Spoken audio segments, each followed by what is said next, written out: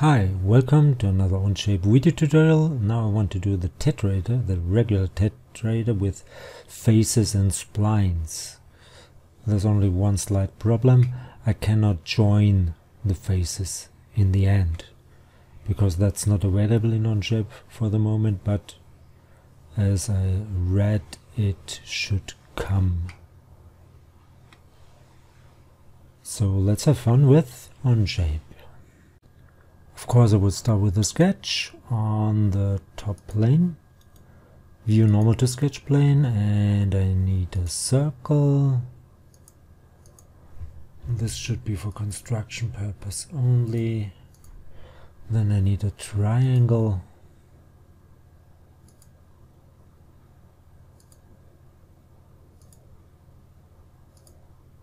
And the sides should be equal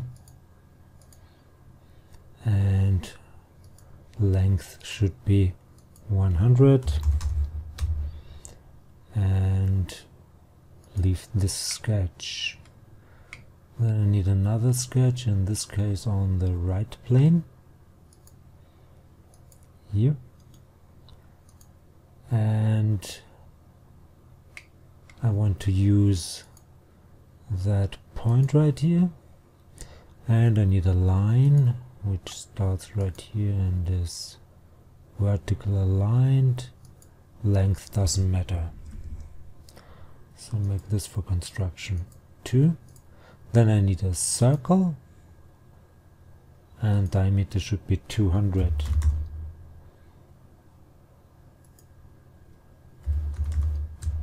okay. And now that line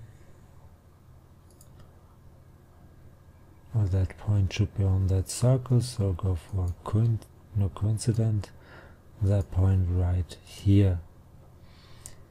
And maybe that circle is for construction purpose as well. Leave that sketch. And now I could use the new splines the 3D fit splines which are well right here because I cannot draw 3D curves lines for example. So I will use a spline and that would go from this point to that point over here and another one from that point to this point. And confirm. Now I will hide those planes yeah hide all planes. And I need a new plane which goes through these three lines. So let's go for plane and make it three points for example. One two and three.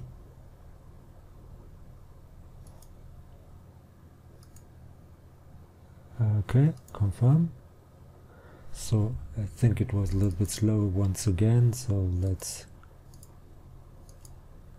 yeah I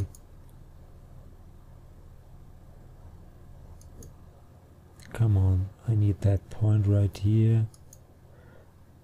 This point. And that point. Okay. Now let's do a sketch on that plane. And I just want to use or include these three lines. Confirm? Oh, now I could hide the plane.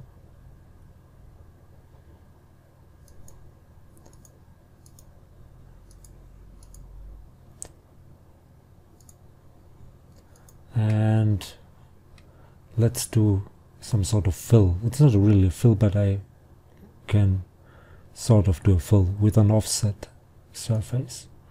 And I want to offset that sketch but only with 0 millimeter.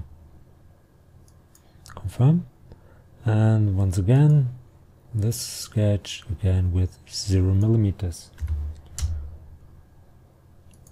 And I got two faces and I will make a pattern with this one. So go for a circular pattern. Select that surface right here. Axis of the pattern. Oh I forgot the axis. No, it's not visible, that's the problem. That's not sketch 3 but sketch 2. There is the axis and I want to have three instances with that axis and I got a nice tetraeder with surfaces and as I told you already I cannot close or join these surfaces that's a, sort of sad but I think it will change soon in Onshape so that join command will be available hopefully soon. Maybe let's hide those sketches and just to check but that's 100 millimeter of course. And I'm done. So hope you enjoyed this one. If you liked it please give it a like leave a comment. If you want to see more give it a like.